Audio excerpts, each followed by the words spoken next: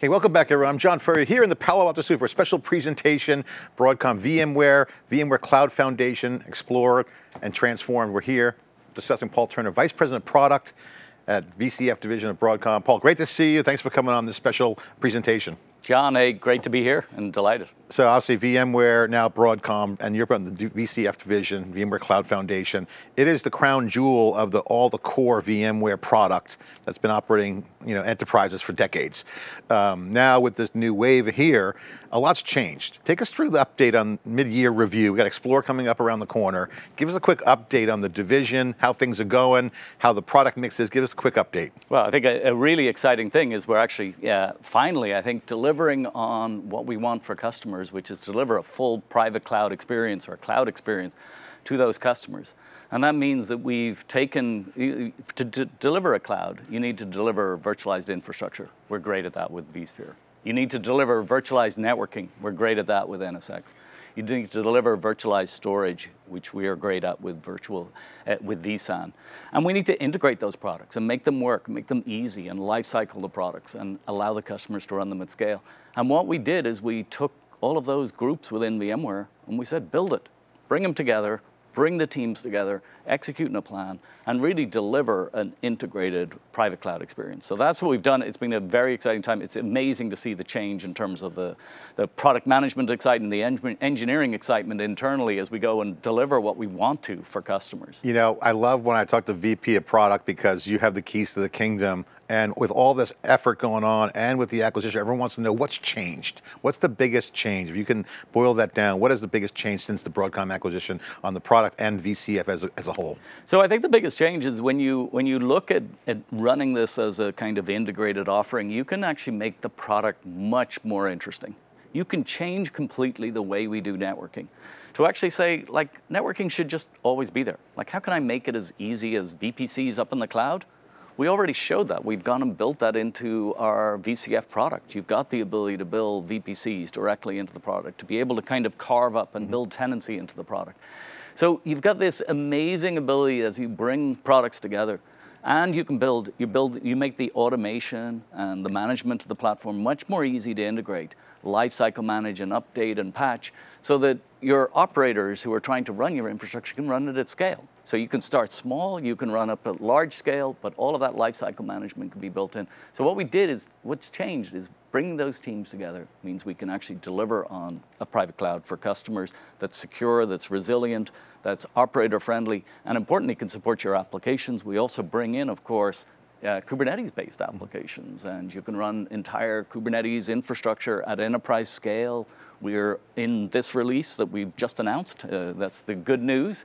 This release, we're bringing out a new um, a Kubernetes offering where we keep updating Kubernetes as fast as you need to. So we do that by, by updating in terms of the cloud. Yeah, Paul, love chatting with you because you know just it just conjures up memories from a decade ago. We've been doing the Cube for 14 years. I remember when Wikibon, now Cube Research, did uh, a study, what's the first research study on the private cloud? Uh -huh. That was pre-Amazon scaling up their revenue and pre-public cloud and pre-Kubernetes, by the way. OpenStack right. was the rage then. Um, that was mainly a data center kind of play. VMware, again, still dominant at that time and right. continues to dominate in the large enterprise so much has changed since then, right? So now you got public cloud grew, now we're kind of next gen public cloud, but we're basically it's distributed computing. Mm -hmm. Bring the Gen AI era now, you got a completely now new infrastructure changeover at the hardware level. You got clustered systems. Everything now is speaking large scale because the apps are evolving. Mm -hmm. Kubernetes enabled that orchestration for cloud native.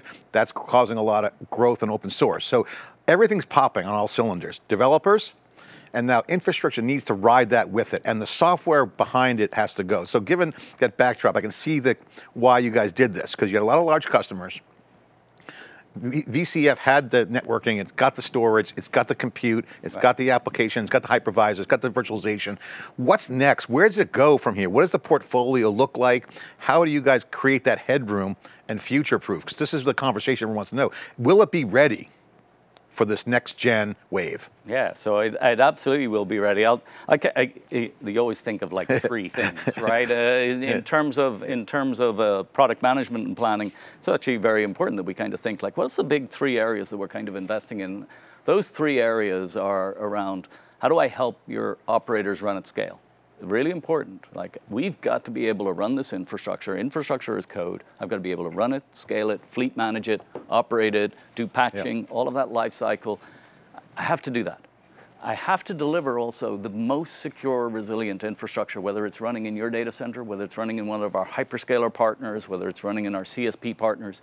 This will be the most resilient, trusted infrastructure that you can operate at scale. So all of that is, is second key area.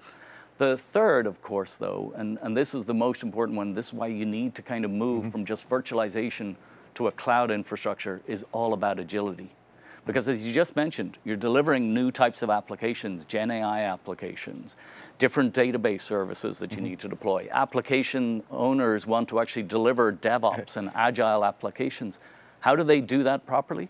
They do that by delivering infrastructure as code and an agile infrastructure. So to do that, you've got a platform that is not just a virtualization platform, it's all of the Kubernetes platform. It's containers or VMs managed through Kubernetes, as agile as you want, supporting private AI, and I think we mentioned that earlier of, of our Gen AI work that we've yeah. done, and we'll continue to expand out the different service offerings. You know, it's interesting, the old school days, you know, you roll out stuff to the enterprise, they'd buy it and then deploy it, and you run it, you run, you run operations, you invest in it, you run ops and do new things now every enterprise is different. Beauty's in the eye of the beholder in the sense that each enterprise will have a different model stack. They might have a different compute architecture. They might rethink how their edge looks. It's, it's kind of the same, but they're all different. So mm-hmm. agile and the ability to roll out really strong infrastructure as a critical system yeah. has always been the sweet spot for VMware. You've always been mission critical infrastructure and software. Yes. Got it. What does that mean in this next wave? And you, from a product standpoint, what's the guiding principles? What are your first principles as you look at this product? How do you ensure that? Take us through the portfolio. Some things will stay the same. We are going to have a virtualized platform that will support all of your compute offerings, your different type of storage offerings. What's in your data center will be virtualized, supported by us, and we're going to bring a private cloud experience to that customer and to all of our customers out there, more than 300,000 customers. So some things stay the same. Yeah. The things that become different are how do we actually deliver a full private cloud? If you're going to AWS, what you're getting is you can dynamically get applications deployed in a matter of moments. And the reason why you can do that is because you get dynamic virtualized compute, virtualized storage, virtualized networking. The management for you is automatically done. That's what you need to do for our, and that's what we do for our customers. So VCF, our VMware Cloud Foundation, is the basis for that. We deliver it a private cloud to our customers and to our enterprises. And it means we can do really mm-hmm. smart things. It means I can, I can now actually, as I provision, I can dynamically provision the right amount of storage for you. I can dynamically, all by policy, policy-based provisioning of storage, policy-based provisioning of networking, so I do that basically a YAML spec that actually defines what I want. I yeah. feed it into our Kubernetes engine, automatically get the application deployed.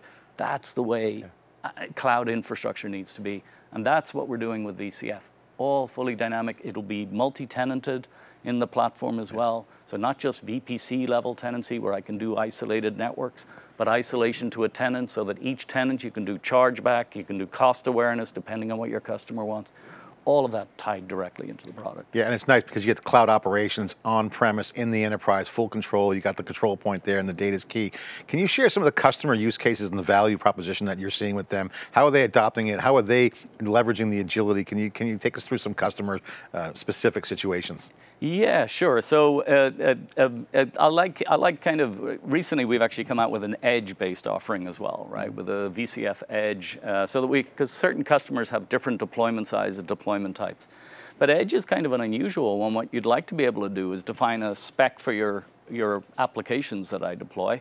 I've got thousands and thousands of these edges. These edges should be able to wake up, kind of pop back to the Git server, find out what its image is, pull it down, automatically run the latest application. And every time there's a new application, it becomes more self-aware.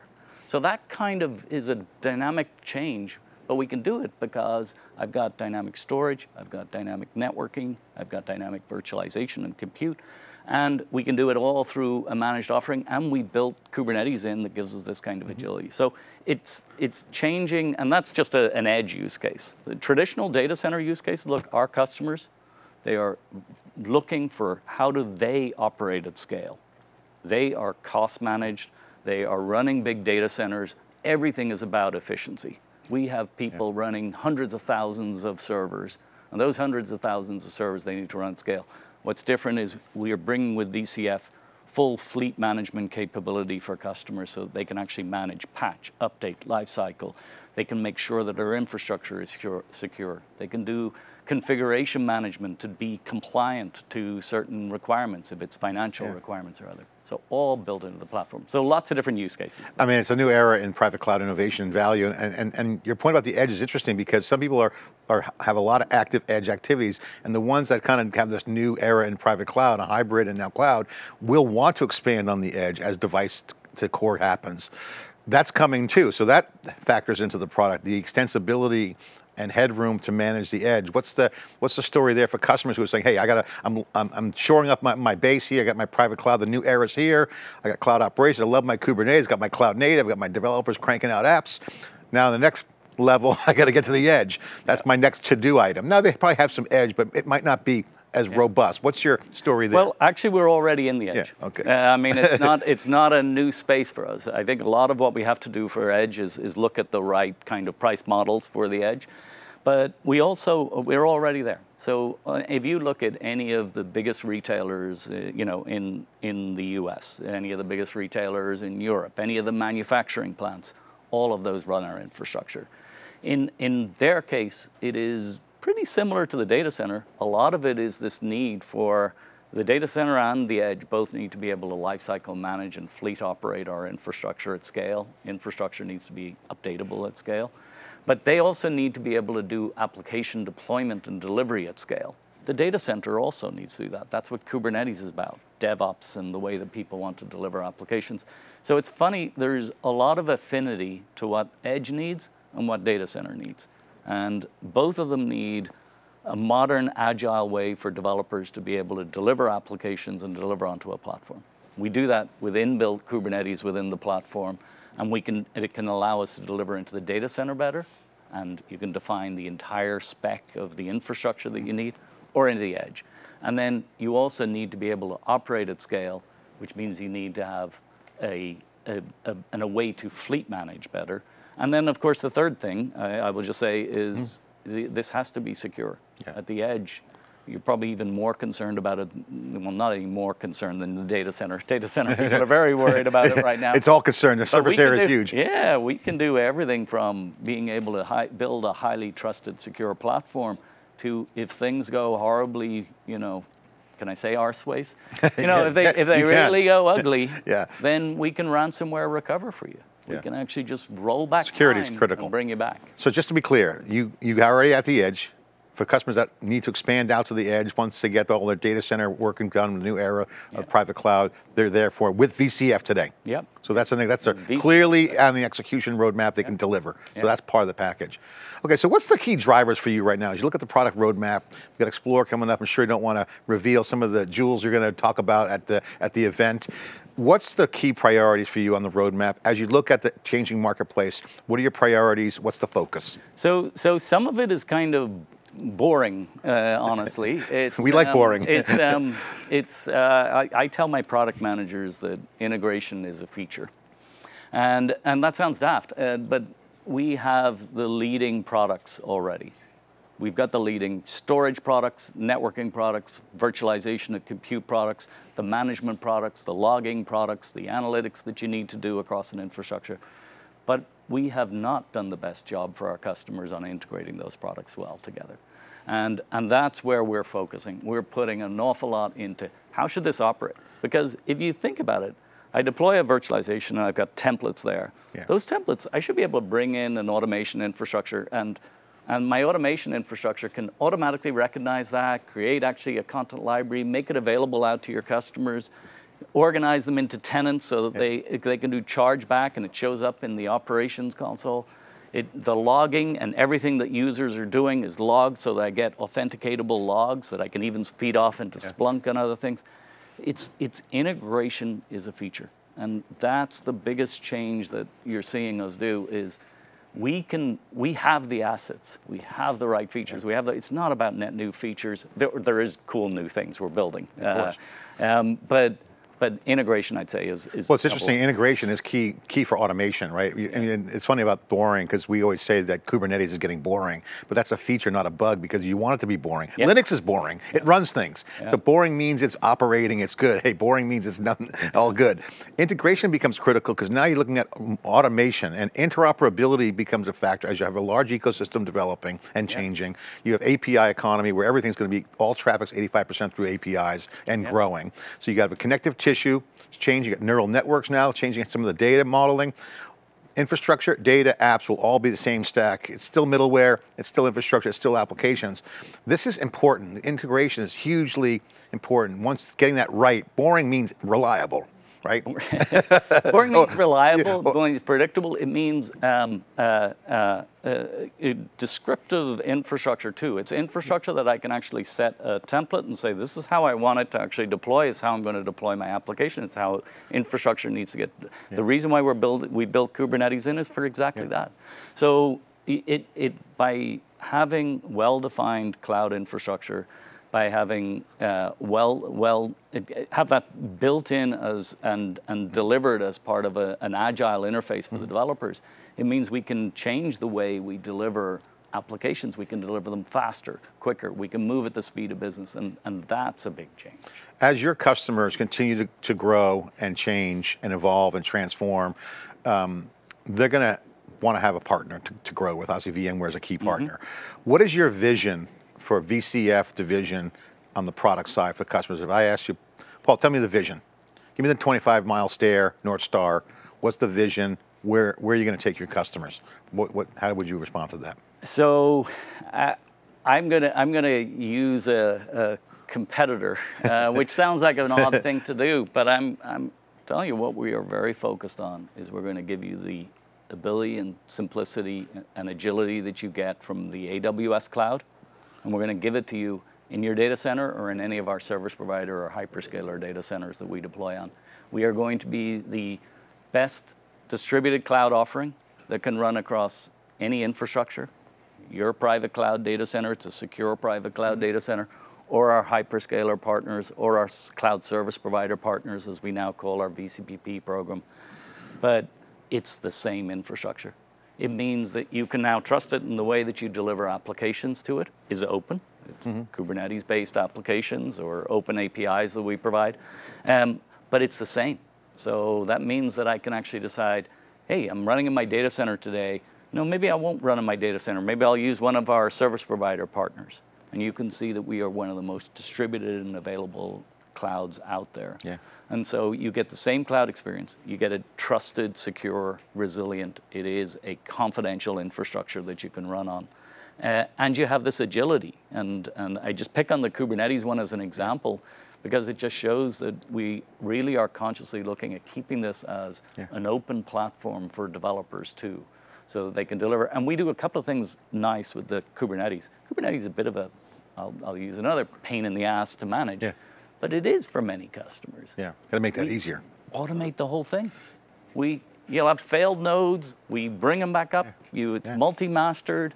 We do it all for the customer. So the customer just needs to decide, yep, I actually want that agile interface for my developers. And I love the AWS vision because it's it's speed, it's agility, it's it's abstract away the heavy lifting, automation, and costs are managed, elastic, all good. Question is, okay, what's the what's the requirements for the customer and what's their benefit? Because obviously public cloud is an option. Here it's private. What are the drivers? What are the requirements? so, what are the so that, that's why you see security as a key one for us. Because what we do definitely see is the, we get the agility and we benchmark ourselves against, let's get AWS level of agility for you. Um, but secure, privacy, trusted. We need to be the most secure platform to run on, and we bet, we bet on that. And we bet on that with our customers, and our customers are the biggest banks in the world. Yeah. They're the biggest armies in the world. Any, any of the critical infrastructure is running on us.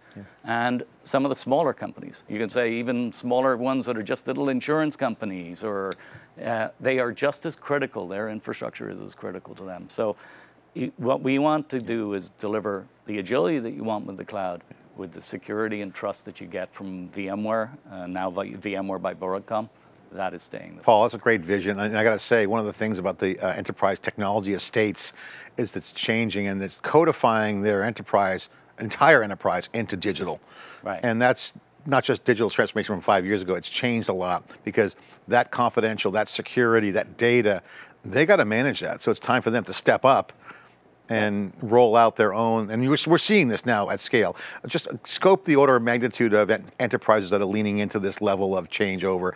Of like, what percentage would you say? Or you mentioned some big banks. Is it just the big, the big guys and the big players, or is it everybody? Oh, absolutely not. We're, we're seeing this uh, uh, across the board, right? So this is it's a, it's actually a really exciting time because we're we're seeing uh, we've we just did a, an exec roadshow, went out and met with about 400 top customers. I mean, uh, the enthusiasm from our customers is is actually exciting. It's something that you can feed off, but it's not just the top 1,000 or 10,000 customers that will take advantage of it. It's many, many beyond that. Yeah. And even those those smaller customers, we're going to deliver that great agile experience for them. We have both VCF Cloud Foundation, and we have our vSphere Foundation. So if all you want is virtualized infrastructure, you still get that from yeah. us. We deliver that base virtualized infrastructure. So you can choose. I want a cloud infrastructure. I want a base virtualized infrastructure.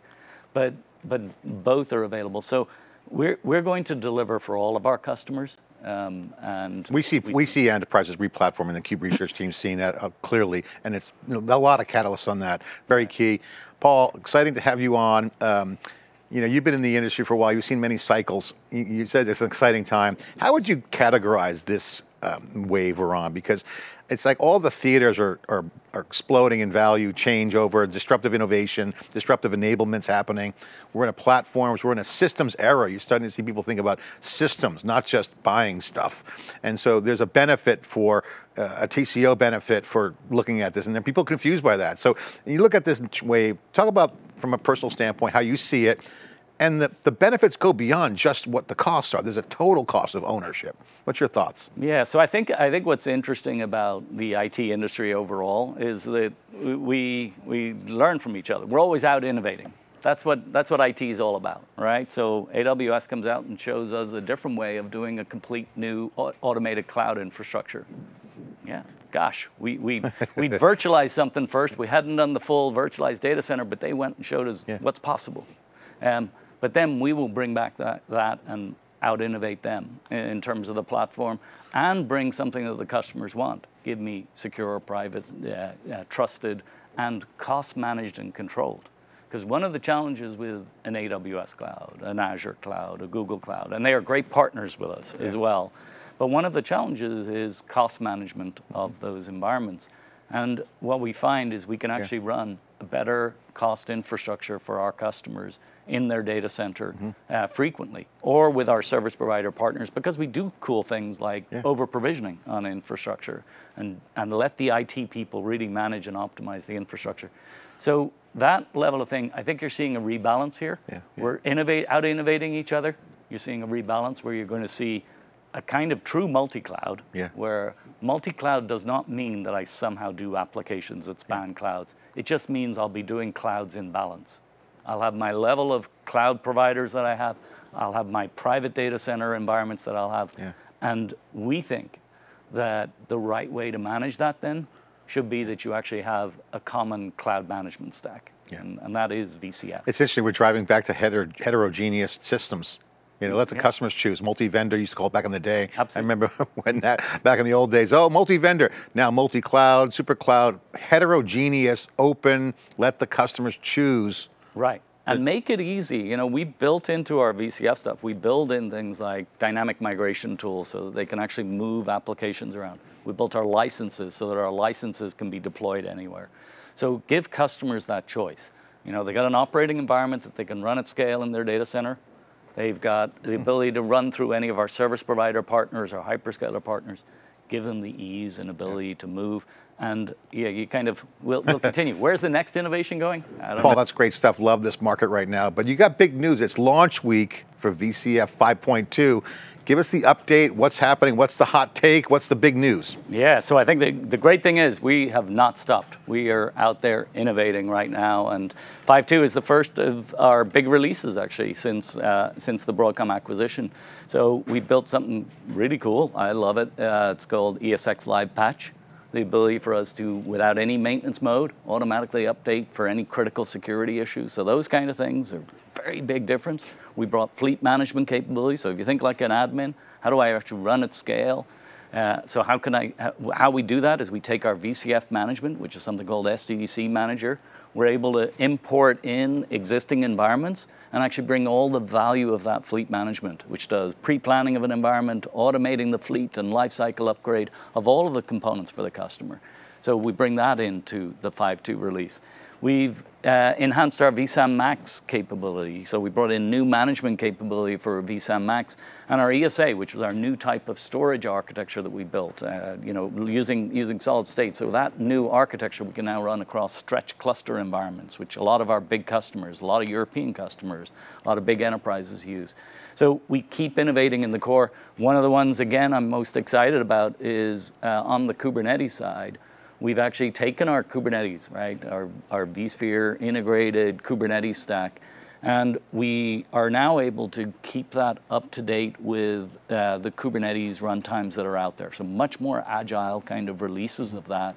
And it means that customers, the default choice for customers who are running vSphere should be just use the Kubernetes that's there because it is open source compliant, it is up to date, it is secure, it's trusted, it gives you all of the things you want, and you can do VM as a service. It's called a VM service, so manage VMs through it or containers through it, all in an agile way. So all of that is bundled into this release. It's also, of course, we, we've enhanced further our VPC capability in for NSX. So we launched that about a year ago. We've enhanced that one further so that you actually get the ability to truly slice and operate infrastructure in a better way. So, so tons of things. I could keep going, but it's The team's been working hard. exciting. Oh, they've been working. That's a big refresh. yeah, huge. What is it, bottom line, what does it all mean?